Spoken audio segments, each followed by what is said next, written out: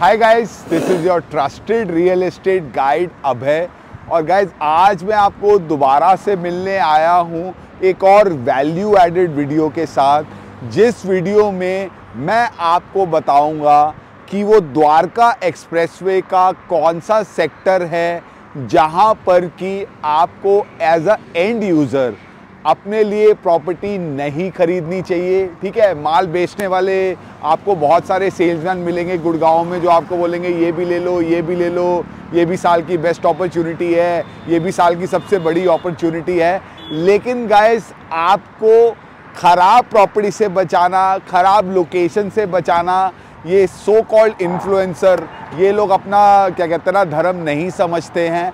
तो इसी सीरीज़ में गाइस आज मैं आपको मिलने आया हूँ द्वारका एक्सप्रेसवे पे, जहाँ पे अक्रॉस द रोड आप देख सकते हैं सेक्टर 37 डी जहाँ पर कि ए का आप मॉल भी देख रहे हैं और उसके अलावा आप यहाँ पे, क्या कहते हैं ना 37 डी के सेक्टर के प्रोजेक्ट भी देख रहे हैं, जहाँ पर आपका सिग्नेचर का भी नया प्रोजेक्ट आने वाला है।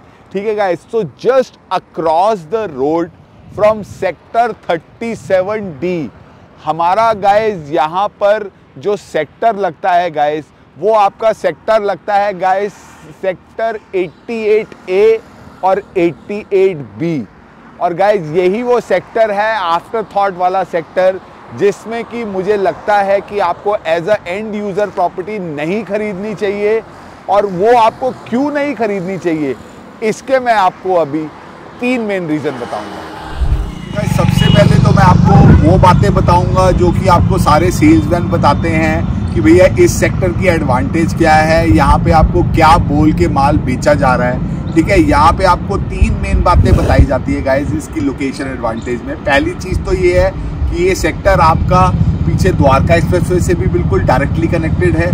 उसके अलावा एक तरफ़ यहाँ पे पटौदी रोड भी है। पटौदी रोड से भी इसका यू नो पीछे कॉर्डरिंग वाली साइड से एक्सेस आ जाता है तीसरी चीज़ क्या है गैस कि इस सेक्टर में आपका यहाँ से स्टार्टिंग पॉइंट होने वाला है Delhi, Jaipur you know flyway का। मतलब ना एक नया एक्सप्रेस वे है जो गडकरी साहब ने विजन किया है जहाँ से कि आप यहाँ से जयपुर ना मे भी तीन घंटे में पहुँच पाएँगे वैसे मुझे मालूम नहीं कि दिल्ली मुंबई एक्सप्रेस वे बनने के बाद एक और हाईवे बनाने की उनको क्या ज़रूरत है but still anyway government की जो भी प्लानिंग होगी तो अगर आप देखेंगे तो यहाँ से आप जयपुर भी डायरेक्टली जा पाएँगे। तो उसके बाद गाइस अगर आप मतलब ना आप सोच रहे होंगे कि यार जहाँ से जयपुर हाईवे भी जाने वाला है जहाँ से एक्सप्रेसवे भी सामने है वहाँ पे भाई साहब प्रॉपर्टी खरीदने के लिए हमें क्यों मना कर रहे हैं? तो गाइस वो आपको मना करने के मेरे तीन मेन रीजन है ठीक है? सबसे पहला रीजन तो गाइस अब अगर मैं यू you नो know, अपने राइट की तरफ़ मूव करता हूँ तो आप मेरे पीछे देख सकते हैं। यहाँ पे गाइस इस पूरे सेक्टर में आपको हाई टेंशन वायर मिलेगी, ठीक है? हाई टेंशन वायर का क्या मतलब ना नुकसान होता है, ये मुझे आपको बताने की ज़रूरत नहीं है, ठीक है? हेल्थ हैजर्ड भी होता है और भी क्या कहते हैं रेडिएशन की इसमें प्रॉब्लम रह सकती है।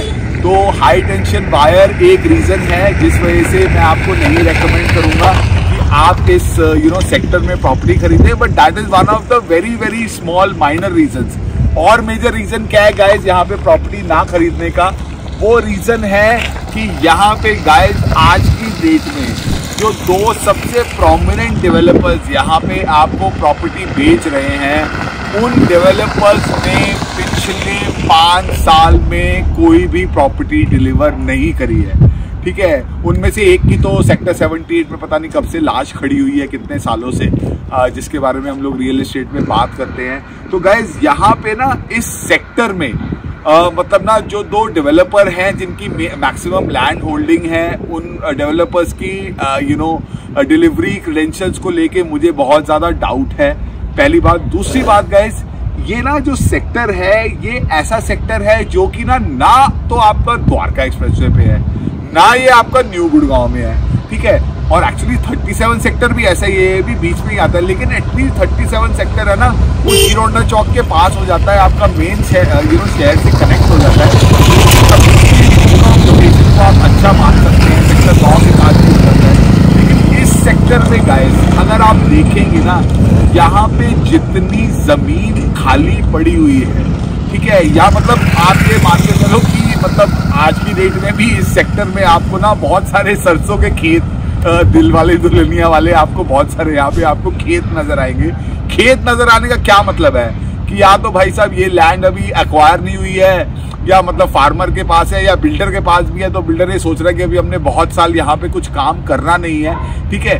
तो मेरे को लगता है गाइस कि ये जो सेक्टर है ना, ये आपका लिवेबिलिटी इंडेक्स में यू नो सेक्टर काफ़ी साल तक काफ़ी पीछे रहेगा बिकॉज़ इस सेक्टर के अंदर अभी ना कोई आपका कमर्शियल एस्टेब्लिशमेंट है, ठीक है? आगे एक आपका ओकस का मॉल 91 में बन गया है और वहाँ पे यू नो ऑलरेडी लीजिंग भी स्टार्ट हो गई है विच इज़ वेरी गुड और which is required also for this area because काफ़ी बड़े एरिया में कोई अपनी कमर्शियल एस्टेब्लिशमेंट नहीं है। इसके बाद सीधा आगे जाके आपका वहाँ पे यू नो कॉन्शियंट वन आता है 109 सेक्टर में।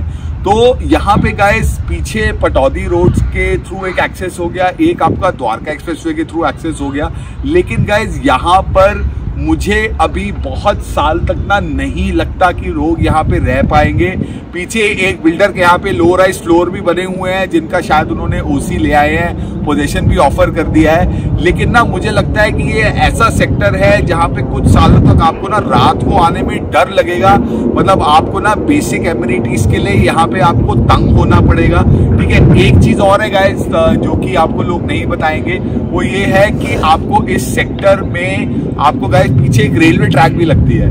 ठीक है रेलवे ट्रैक लगने का क्या मतलब है कि भैया वहाँ पे हमेशा आने जाने का आपको यू नो रेलवे लाइन का जो ट्रैफ़िक है, वो आपको रेलवे लाइन का ट्रैफ़िक भी आपको यहाँ पे मिलता है। ठीक है, उसके अलावा गाइस ये मुझे ऐसा लगता है इस सेक्टर में अभी मतलब जैसे पूरे गुड़गांव में प्राइसेस बढ़े हैं, यहाँ पर भी प्राइस बढ़ चुके हैं। तो आज के प्राइसेस में बहुत सारे लोग जो एक करोड़ से नीचे you know maybe floor देख रहे हैं या जो दो करोड़ से नीचे प्लॉट देख रहे हैं, उन लोगों को ना भीड़ में डाल के यहाँ पे लाया जाएगा बहुत सारे ब्रोकर्स के द्वारा। लेकिन मुझे ऐसा लगता है कि इस सेक्टर से आपको बच के रहना चाहिए। इस सेक्टर में आपको इन्वेस्ट नहीं करना चाहिए अनलेस आपका पाँच साल, दस साल का विजन है।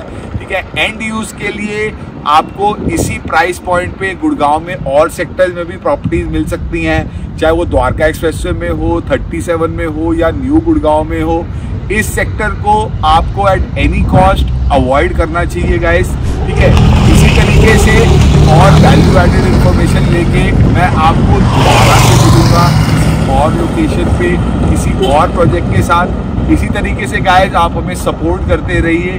Please like share and comment on our content and please subscribe to our channel I see you very soon bye for now